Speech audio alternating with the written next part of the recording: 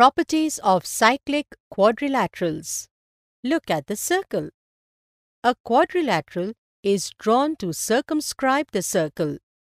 Now, ABCD is a cyclic quadrilateral and here we will test and understand the two important properties of a cyclic quadrilateral. The first property tells us that the opposite angles of a cyclic quadrilateral are supplementary. This means that the sum of any pair of opposite angles of a quadrilateral is 180 degrees. Now, let us watch this image to understand this property. Look at angle A and angle C. These are the opposite angles and according to the property, angle A and angle C are supplementary. Therefore, this means that angle A plus angle C is equal to 180 degrees.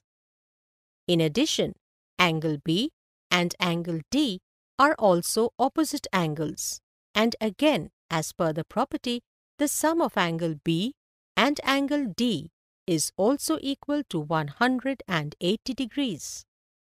The converse of this theorem is also true, which says that if the opposite angles of a quadrilateral are supplementary, then the quadrilateral will be a cyclic quadrilateral.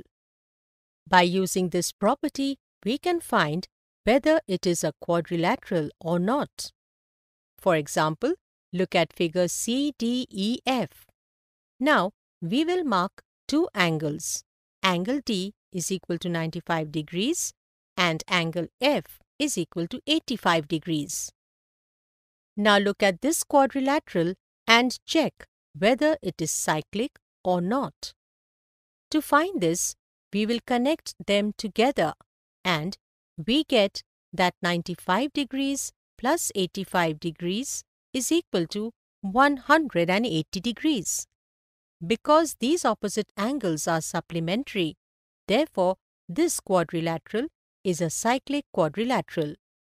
Now, we will discuss about the second property of the cyclic quadrilateral which tells us that the exterior angles of a cyclic quadrilateral are equal to the interior opposite angles. To understand this property, let us draw a cyclic quadrilateral ABCD.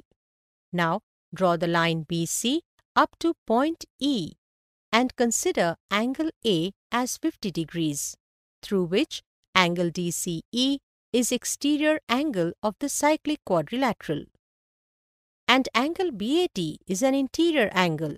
Therefore, as per the second property of a cyclic quadrilateral, angle DCE is equal to angle BAD or in other words, angle DCE is equal to 50 degrees.